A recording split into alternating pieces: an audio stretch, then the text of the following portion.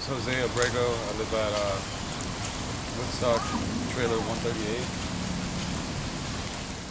I woke up because I heard a, lar- a loud thud in the living room and uh, come to realize that the ceiling had caved in and look out the window and. So I went to go check up on the baby immediately afterwards. And I woke my girlfriend up and told her that uh, we need to get the baby out. We need to get out before it starts caving in completely. My cat had a litter of four kitties, so we had to get them out too. And then two of our dogs and two of our other cats. Yeah, we got a place to stay, but I don't think we're gonna be able to stay here tonight.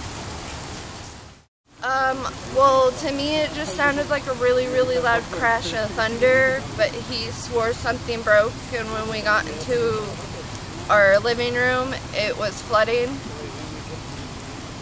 So we um, we had to unplug everything electrical around it so it wouldn't cause a fire next.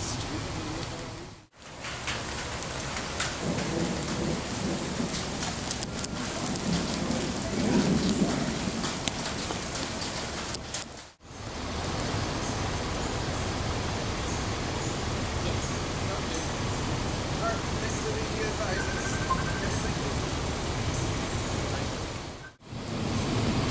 get one.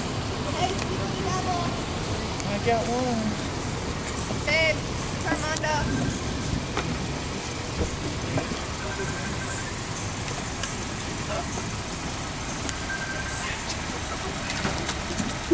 Just a moment. Got him. Speaker